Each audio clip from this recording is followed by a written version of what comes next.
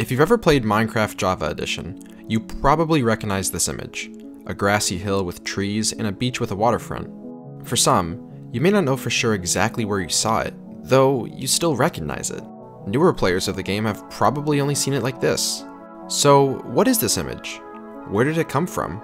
When was it taken? This is going to be a deep look into what I call the most iconic image in Minecraft history. This image can be seen in two areas of the game. The first being the resource pack selection screen, where the image is shown as the icon for the default resource pack of Minecraft. The second area is the server selection screen, where it is shown when a host has not selected an icon for their server. This time, it's shown in black and white. The interesting thing about this image is that it just looks off. The hill seems strange, the beach looks weird, and the trees look greener than they should. Minecraft doesn't normally look this way, but if you have a trained eye, you will know why this image looks the way it does. It was taken in a much older version of Minecraft. From the day I bought the game in beta 1.8 or October of 2011, I've seen this exact image appear in the game. That was over 8 years ago, and the same image was still there, that far back. So we need to go back even further, as far back as this version of the game.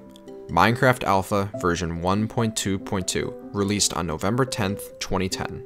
This is the version of the game that added official support for texture packs, and with that feature, it added that iconic image to the texture pack selection screen. This is as far back as we can go for the image appearing in the game and for it to be found in the game files. To confirm this, I extracted the game files from the version before this and could not find the image. That means that this image had to be taken either sometime during the development of that version of the game, or even sometime before then. But I'm sure that it wasn't taken any more than a month earlier due to the release of Alpha 1.2, which added biomes and changed the color scheme of Minecraft from a bright green to a more darker green that we see in that image. When I extracted the image from the Alpha 1.2.2 jar file, I was greeted with an icon that had a resolution of 128 by 128 pixels. As far as I know, this is the largest and only size I could find in the Minecraft client files. And yes, I did check the newer versions of the game for larger resolutions.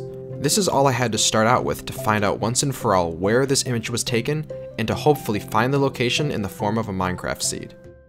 The first thing I did with the image was to run it through Google's reverse image search, but what I found was disappointing poorly upscaled and compressed JPEGs of the same 128 by 128 resolution image from YouTube channels, resource pack websites, and skin websites. This was my first dead end.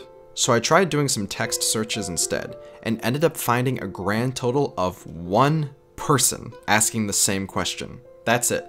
Just one dude. And this was way back in 2012. Unfortunately, there were no answers to his question that led up to anything of the slightest significance.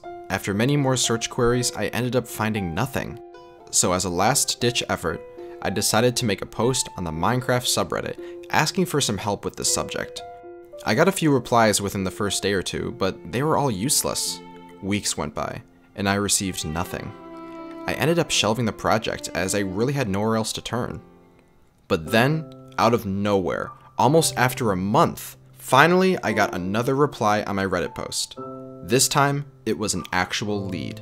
He posted a link to another Minecraft forum post where the user claimed that if you typed the seed Mojang, it would generate the world where the iconic hill picture was, and that it worked between versions beta 1.3 and beta 1.7. But the only issue is that the user couldn't actually find the structure anywhere for himself. So I decided to load up the seed in beta 1.7 for myself, and I used a fly mod to make searching a bit quicker. But wait, pause here for a second. That doesn't make any sense. How could I be using a predetermined seed to look for this terrain feature when the image was taken in a version of Minecraft before you could even manually select the world seed? That feature was only added in beta 1.3. Well, here's the answer to that. After biomes were added to Minecraft Alpha 1.2, or on October 30th, 2010, the world generation system stayed relatively the same all the way up to beta 1.7.3. Even though manually entering the seed didn't exist in the game back then, the seed itself was still present in the level.dat file. So let's just say I generate a world in alpha 1.2. What I can do is extract the seed from that level.dat file, go into a more recent version that still has the same world generation, type in that seed to generate a new world, and voila, it's the same terrain. So I decided to use beta 1.7.3 to conduct my search, as the terrain should look almost identical to what it was in the picture. But like the last attempts I made to solve this mystery, I ran into another snag. After almost an hour of flying around, searching the seed for that terrain feature, I came back with nothing. The guy that posted that thread suggesting it was from the Mojang seed probably got his thoughts mixed up, because when I researched the seed, I could not find a single thread saying that the seed had any correlation to that image. All I could find were old seeds that happened to have Mojang in the list. Yet again, another dead end.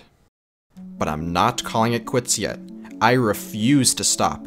I vow to do everything in my power to find the seed or the map that was used to take this picture, but I can't do it alone. Guys, I need your help. Whether if it's by reverse engineering the seed with the little information we have, or contacting the Mojang developers to see if they still have the world they used to take this picture. Maybe there's something else I missed. There has to be a way. I'm not sure. But for now, here's what I'm gonna do. I'm gonna create a text channel on my Discord server so that people can discuss ideas about this that I may have never considered. If you wanna join that Discord, the link will be in the description. Also, to increase the likelihood of us solving this mystery, please like the video and share it with everyone you know. And make sure to subscribe to the channel and follow me on Twitter so you don't miss any updates to new leads I find during this project. Now, I normally don't ask for these things up front, but in this case, we need all the help we can get to solve this mystery once and for all.